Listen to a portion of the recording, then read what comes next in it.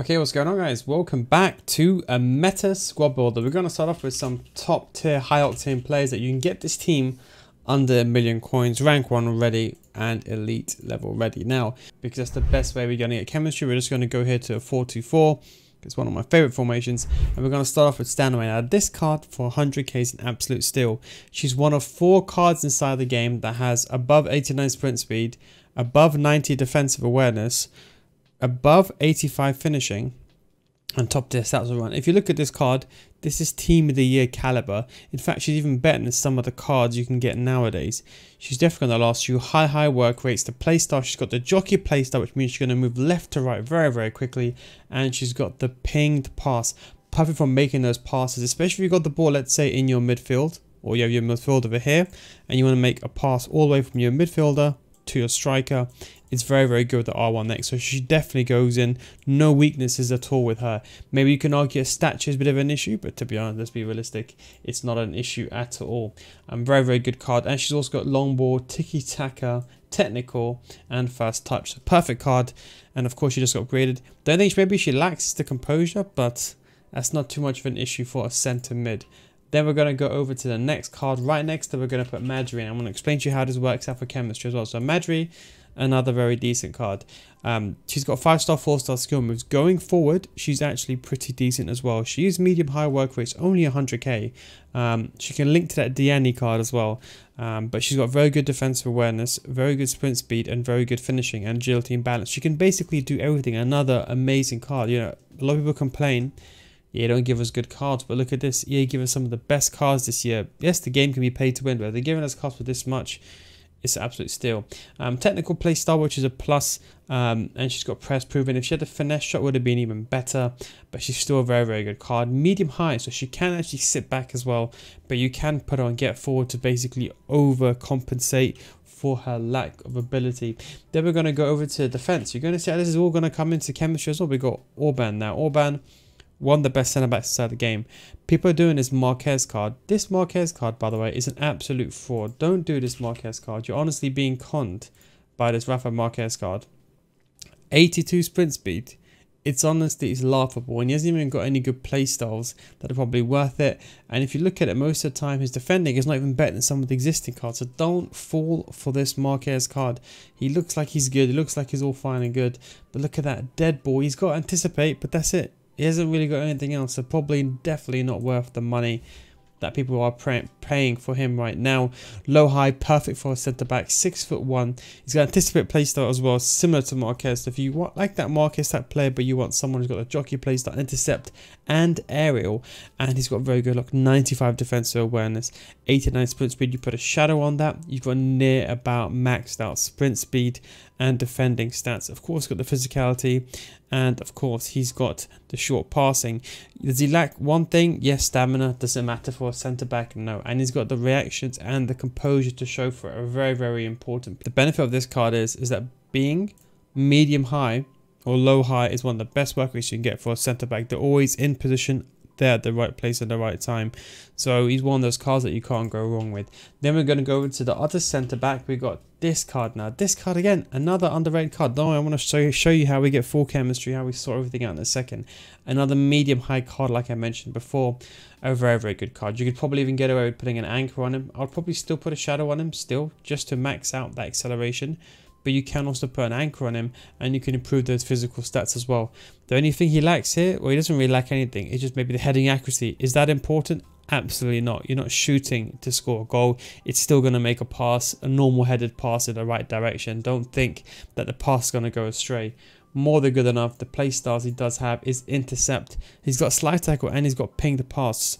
And he's got the actual long pass and jockey. So if you want to play him in a center and you want a player that can distribute the ball, let's say for example you got the ball with your center mid and you want to pass the ball to your striker or even to your the other centre mids, you can use someone like this card to distribute that ball and he's ready. You can even play as a fullback if you want to.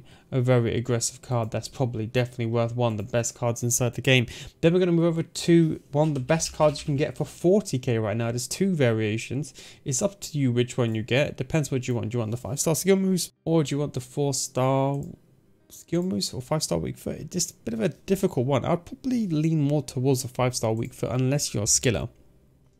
Again, a top tier card. You can put a hunter on him, 99 sprint speed, 95 finishing, 95 shot power. He does like the long shots, but he's a winger. He's not going to use the long shots that often. Good short passing, good stamina, and of course he has everything that you'd want. And one of the two of the best, no sorry, two of the best playstyle pluses inside the game. He's got first touch, and he's got the quick step playstyle. Perfect for making those quick movements. You can use a pinged pass with Stanway, using Stanway in combination with Pulisic. So you get the ball with Stanway, do a pinged pass to Pulisic. Absolute goldmine because he's got the first touch. He's going to control her pass perfectly and he's got the quick step to get that acceleration boost. And he's also got the rapid playstyle as well. Honestly, what a joke. Even at best, a super sub. Good composure, very good card. Um, for 30k, it's an absolute steal, probably the most underpriced card inside the game. Um, then we're going to go over to the opposite side now. We're going to go over to George Best now. This is how chemistry comes together. We had to, we was looking at other cards here. There's definitely other cards available, but just in the element of chemistry, put George Best in here. Four star, four star, five foot nine, still a top tier card. You put a hunter on him, and he still lasts. He's got 98 sprint speed, almost 99 sprint, basically 99 sprint speed. He's lacks one sprint speed stat. Um, but then he's got 99 finishing. Shot power is at 90 and he's got 88 long shots. So you can play that cam role if you want to play him. Good agility and balance and he's got good short passing. Very good card. Got technical playstyle. Could be better, but of course, unless you want to spend 1.5 for plus 2 stats, it's probably not worth it. Then we're going to go with our second striker. We got Raspadori, one of my other favourite cards. Very, very nice card as well. Always been my favorite because he's very agile. He's kind of like a Ben Yedder, but this card is five star, five star. People always look at this card and think, oh, he's cheap, he must be bad. I don't know people are playing at. It's some of the best cards you can get. High, low, five for eight, five star, five star. Finesse shot, play star, power header it can be used, but he's a bit maybe a bit too on the short side. But it's like a more of a striker to stay for. He's got a pinged pass and rapid and technical, so you can also set up the other players as well. Uh, but you put a hunter on him again. He can also play on the wing, but I'd probably say he's predominantly a striker because of the lack of that stamina. Um, but very good, very good short passing. You can leave him as a stay forward cam as well, and he gives us the links to Pulisic. Um, very good agility and balance, 97 finishing, 90 shot power, and 94 sprint speed. Lacks the long shots, as I said, mainly as a striker. Maybe can get away with a cam if you don't use the long shots that much. Um, he may be weak on a finesse shots because he lacks the curve in the long shots, but that's about it. Five star, five star. You got a fantastic card inside the game. Um, then we're just going to go over to the right back role. So we're going with Zanetti. Now there's two Zanettis again. It depends what choice you want. I'll, prob I'll probably be honest, probably go for the weak foot variation here. Um, again, another top tier card. Now, you've got a choice here. You can either play this guy in centre mid. This is the beautiful thing about the Zanetti card, is that you can move him to centre mid later on inside the game, or play like a 3-5-2, move him down the wing or whatever can get that job done.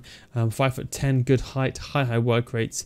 Um, it can do basically everything. His jumping lacks a little bit, but it's not the end of the world. You can put an anchor on him and you've got a really good top tier card. He's got literally everything that you'd want. 94 crossing, 93 long pass and 87, so 93 short pass and 87 long passing. And he's got that agility balance as well. The play styles could be better, but you do have the whipped pass and relentless. Um, so He's definitely going to go that stamina. He could have better playstyle pluses, but then at that price, for this price range, it's actually a really good steal. You're only really looking at maybe a Carlos or Roberto Carlos, and even then, is Roberto Carlos worth it? It's a bit of a, a different situation because you could argue the 90, 90 Roberto Carlos. Be honest, look, I know he hasn't. He's five foot six, two star weak foot probably not worth it. So Zanetti definitely goes in there. Then we got more of a defensive player. Like if you, let's say you're playing a 4-3-2-1 and you want someone that can go forward with the ball. Then we've got James. James is a fantastic card here. Uh, very, very good. High medium, that's the only downside, but he's got the jockey playstyle plus. Um, if you can go with a FUT birthday, but let's be realistic, hardly anyone's going to go with a fixed price of 200k SBC. But if you really like him, you could do but high medium. But again, another top tier card, you put a shadow on him, you've got a really, really good card. One of a gold mine of a card, 40k only. Um, the only downside is he lacks stamina, but if he's a right back on stay back while attacking in a 4-3-2-1, he is fine. You could use another player here. You could use uh, just another quick reference. You could use someone like Lamptey. There's actually so many players you could use here You could use Lamptey. Lamptey is a very, very good card. You put a shadow on him, and you honestly are laughing at those stats with five, five star, four star, but extra strength. One other card, another one that's favorite of mine, is Rico Lewis, and that continues to give the links to Stanway as well. He's also got a jockey playstyle, but he's got that better pace, better agility balance, got the stamina. Um, five foot nine though, but high medium, so going forward he can bomb down the wing with that and a 94 short passing. Likes long passing, but you won't be using it that much unless you're sending those balls over the top. So you can use him there. Um, in elements of chemistry, we've got with Van der Sar in goalkeeper, and then we've got Raul over here in, cent in central striker. This would be alongside Raspadori, four star, five star weak foot. A very, very good card. Um, one of the top tier strikers you can really get into the game because he's got 93 composure. Very underlooked stat for a striker. You see a lot of strikers here with below 85 composure. They're not that good in front of goal, especially in this FIFA and FC 24, should I say rather, where we know how bad finishing is. But a top tier card, 99 finishing, 92 shot power, and he's got the volleys and penalties, which doesn't make a difference. Um, but he's got good passing as well, good stamina and good jumping. So he's basically an all-in-one striker. The finesse shot playstyle as well. You're laughing. The 93 is probably just a bit too much. Probably not worth the upgrade. Yes, you do get the technical playstyle, um, but you're talking about that's literally 10 times the amount of money for just a, a, better card, unless you're really playing for the playstyle. You could, of course, go with a Hawk as well. A Hawk does give that ability to get that sprint speed up, and it gets a long shots up if you want to play him as a cam, or for cam role, Um, but I definitely recommend a Hunter. So that's how it looks for chemistry. Then if you want to choose, it depends who you want. If you want, um, let's say you want chemistry, you can do whatever you want. You can put Italian manager in for Raspadori, um, or you can put a US manager. It's only those two cards that are really going to be off chemistry. All you got to do is just go here, you go to Italian. Go here to Italian. You choose anyone you want. Conte if you want. And there you go. Only one player lacks the chemistry. So how is this set up now in, in game? So if you're going to be playing a typical 4-3-2-1, which we know is pretty much the meta. Actually, we'll start with a, we'll start with 4-2-3-1 first before we go to the 4 3 2 1 should I say rather um you can do something like this I would say Raul probably the better cam here and you can do something like this. I think it works perfectly well here. Um, we'll go to the 3-5-2. This is what I meant with Zanetti. You can move him into that place. James can play that right centre mid role very, very well. You can even put him in the middle. The reason why I like him in the middle a bit better because he's got that agility and balance as well. To be honest, so does Orban. Orban's also got the agility balance, but is not the best compare. I like someone that's quick and that can maneuver, something just to bear in mind. Um, then I've got Stanway and Madri. And of course, you can even move Madri to the wing because Madri has that ability to go down the wing and attack. And she's medium high. So she could actually come back and help you defend. So this could be a very good system as well. Um, or you can go something like this. Put Raul and Cam, and you can put Pulisic in striker, or you could go with something like this. But you've got to be careful with Pulisic though, because he's got the stamina, but he hasn't really got the best of work rate. He's not going to really come back in time high high. So if you've got one high medium, one medium high, maybe that's fine with a balance. Um, but this guy is preferably better inside the box, I would say. So that's something to bear in mind. Maybe I will do something like this, even with medium medium, and put that player and come back in the fence.